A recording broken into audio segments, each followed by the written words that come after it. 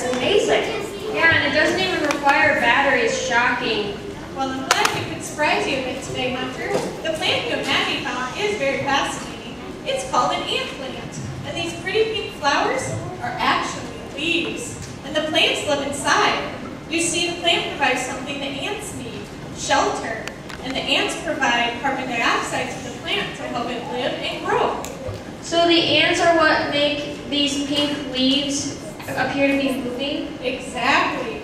You know, it's pretty amazing how God provides the things we need. Like today, Hunter, when you couldn't get an internet signal, the books provided all the answers that we needed. And this plant, uniquely designed by God, provides shelter for the ants and life for the plant. You know, God promises to give, give us everything we need, and He really does.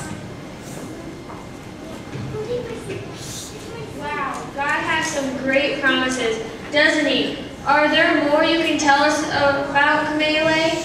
Oh, Maddie, the Bible is full of God's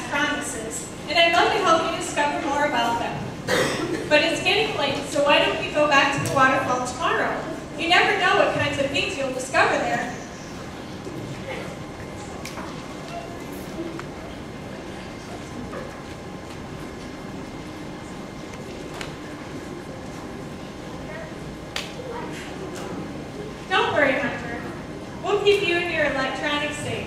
I promise. Kids will see all of you tomorrow.